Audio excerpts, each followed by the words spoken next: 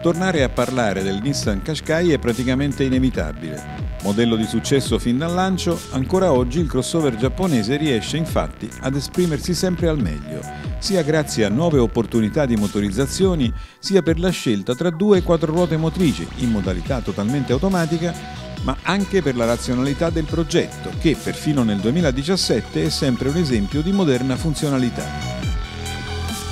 Scomparsa dal listino la versione a 7 posti, il nuovo Qashqai oggi ha trovato una sua collocazione precisa e sistema comodamente i 5 occupanti con la consueta maggiore attenzione per la poltrona del guidatore, più flessibile nelle regolazioni.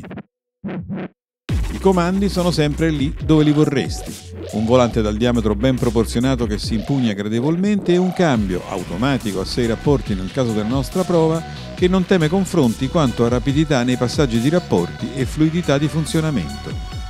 Da sempre Qashqai vanta inoltre una impeccabile tenuta di strada, pure con la sua lunghezza di 4,38 m e un'altezza vicina al metro e mezzo.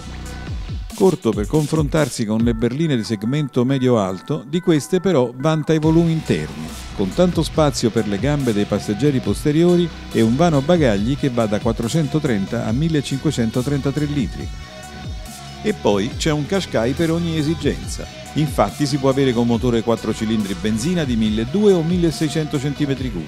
e 110 o 163 cavalli nella versione a due ruote motrici. In alternativa si può preferire l'alimentazione a gasolio con un 1500 da 110 cavalli o un più nuovo 1600 che ne ha 130 e con queste motorizzazioni si può avere anche la trazione integrale con libera scelta su trazione anteriore o 4x4 infine la versione speciale della nostra prova, la Black Edition con cambio automatico, con una lista di accessori infinita compresi nel prezzo di listino. E siamo ai vertici della gamma con 35.450 o 35.950 euro per l'integrale,